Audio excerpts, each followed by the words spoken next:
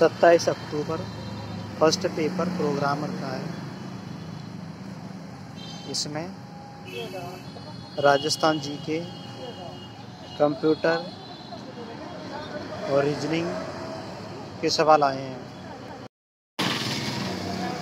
ये first paper हुआ था दस बजे से साढ़े दस बजे से लेकर साढ़े बारह बजे तक। और सेकंड पेपर होगा दो, तीन बजे से लेकर के पाँच बजे तक। एक घंटे पहले सेंटर पर एंट्री दे दी जाती है। एक घंटे पहले एग्ज़ाम सेंटर के दरवाजे बंद कर दिए जाते हैं। तो यहाँ पर आप क्वेश्चन पेपर देख सकते हैं। पूरा पेपर है।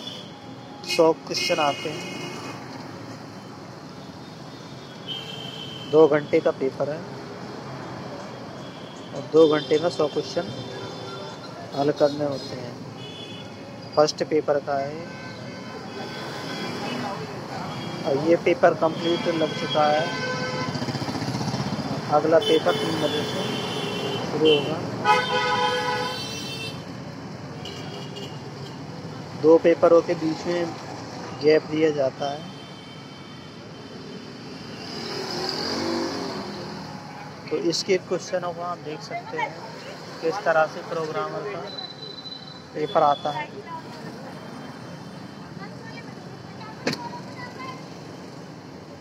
वीडियो को लाइक करना शेयर